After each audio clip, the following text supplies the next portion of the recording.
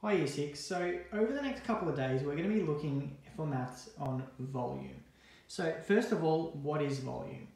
Volume is the amount of space that an object takes up in our world. So as you can see here, I've got a tissue box and I've also got a brownie box.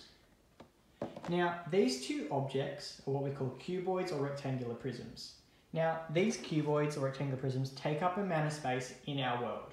Now, there is a formula that we need to use to find out how much space they actually take up. The formula is length times width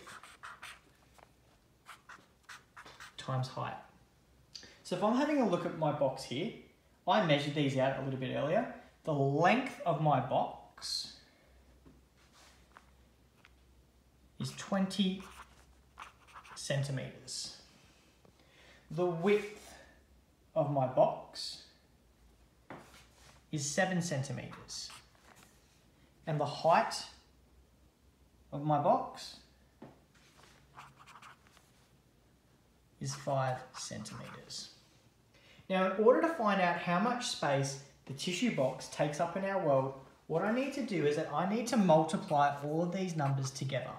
So I'm going to go here, 20 times 5 is 100 multiplied by 7 equals 700. Now I use centimetres here. I'm going to go centimetres cubed. The reason that I've got the cubed here is because I've got one, two, three different dimensions that I had to measure. The length, the width, and the height to find out how much space that tissue box takes up. I would need to do the same thing with that rectangular box here as well for my brownie box.